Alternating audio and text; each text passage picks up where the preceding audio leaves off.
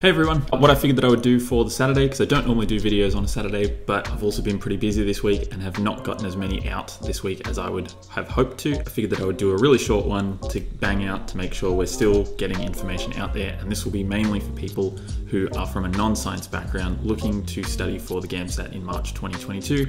Maybe you're actually planning for the one in September as well, but trying to work out how you actually navigate all of this information to prepare for section three of GAMSAT. A lot of people have uh, sent me emails and messages and that kind of thing asking about like where do I actually start? How do I know that I've, I've kind of covered everything?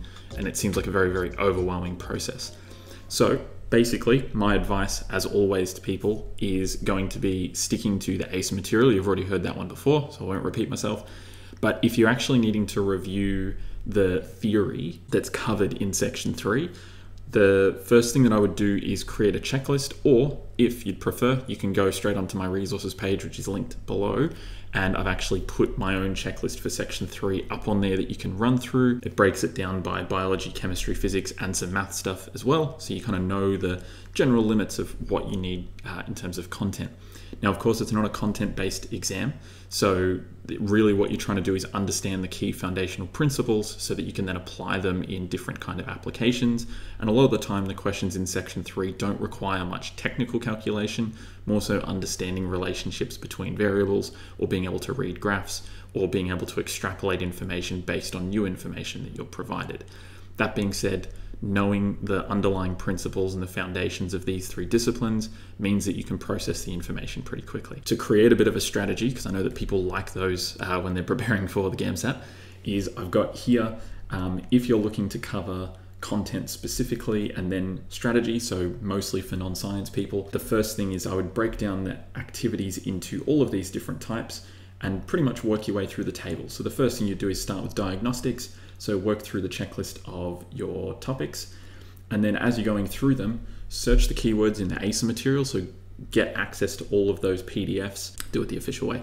All you have to do is search the keywords in each of the booklets, and I've suggested maybe just the green booklet. It obviously isn't going to cover everything, but the green one is a bit more outdated. It covers a lot more content based stuff, and it's actually a good place to start. Search the keywords, it'll pull up questions that are related to that topic you don't have to necessarily uh, check the answers. You can attempt them just to see what you can glean off of it just from logic or from prior knowledge. Don't check the answers yet. Then move on, then go to research the topic. So now you know what the boundaries are, what kind of things GAMSAT seems to be focusing on.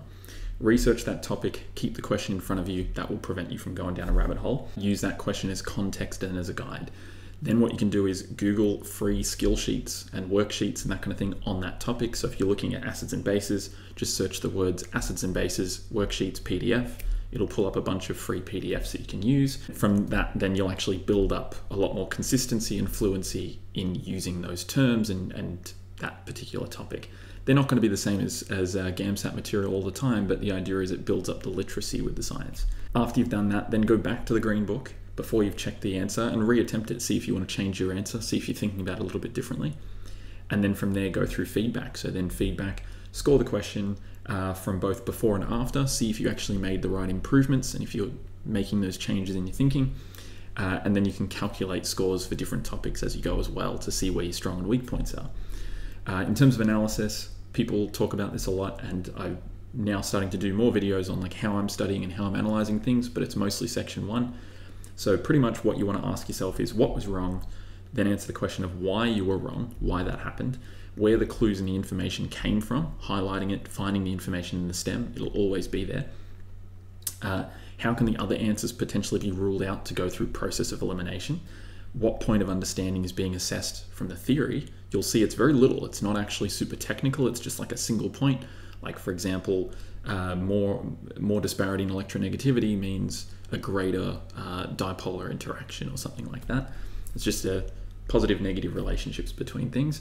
Then work out what your error type was. So work out if it was a content related error that you need to review again, like an error in your judgment or your reasoning, uh, or if it was just a silly error, those ones are like they're not so bad because it means that they're not repeatable if they're silly errors. If you can categorize your errors, you can start to think about where it's coming from, uh, and then you can still gauge whether or not your theory study is working what it also means is that you're not just getting bogged down in content, content, content, because that can go really, really off topic.